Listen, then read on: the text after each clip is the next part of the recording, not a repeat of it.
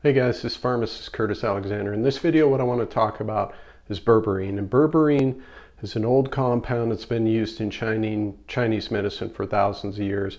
Today, we're going to talk about can it help with diabetes? Can it help control blood sugars? Okay, so I want to hop right into it. So like I said, berberine's been around for a long time, but is there any data to back up its use in diabetes? And it turns out there is. And I'll put a link to this study in the description, but they actually looked at berberine versus metformin. If you're watching this video, you're probably familiar with metformin. It's usually our first line of therapy in diabetes, um, and I've got videos on metformin if you want to watch that.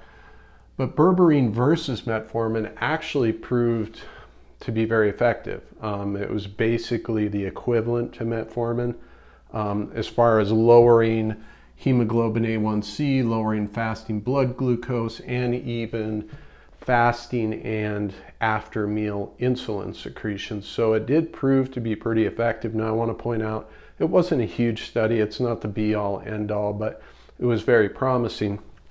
I won't link to this study, but there was another study that involved PCOS, which is polycystic ovarian syndrome, which I bring that up because a lot of women with PCOS have a metabolic component going on, and it performed very well in that study as well. So, based off the studies, I think there's promise. There's also a lot of people who've used it who've given feedback, forums and, and review sites and stuff. Um, and it, it appears to be pretty effective for those folks as well.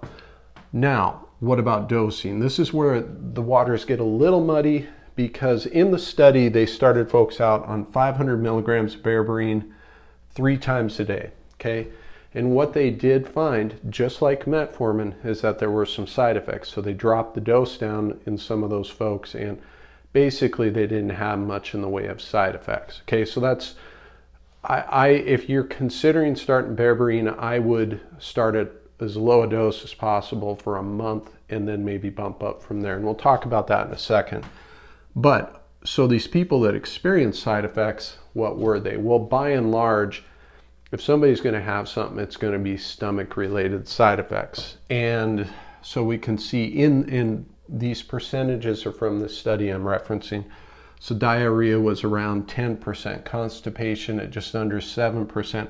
The big one was actually flatulence or gas um, at just under 20%. So maybe don't go on any dates if you're taking this for the first four weeks. Also abdominal pain, so all GI stuff, all right? Again, kind of coming back to the dosing, if it were me, I would start out at 300 milligrams three times a day. See how you do. If you tolerate it okay, you can bump it up to that 500 milligrams three times a day. And I don't think you'll have too many issues if you do that. So my overall thoughts in using this for diabetes and to help control blood sugars. And I do want to point out, it's not just controlling high blood sugars, it can help it on the other end, meaning it can help regulate blood sugars, not just lower them. Some people notice that blood sugars didn't go as low or as high. Okay, so something to keep in mind. But overall thoughts for me is I found this study, the couple of studies you can find, I found them compelling.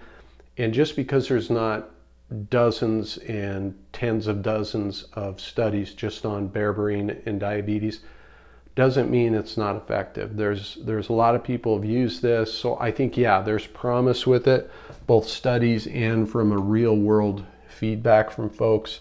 Um, there is an argument to be made that we don't have enough data yet, and that that's somewhat legitimate, but it's not the be all and end all.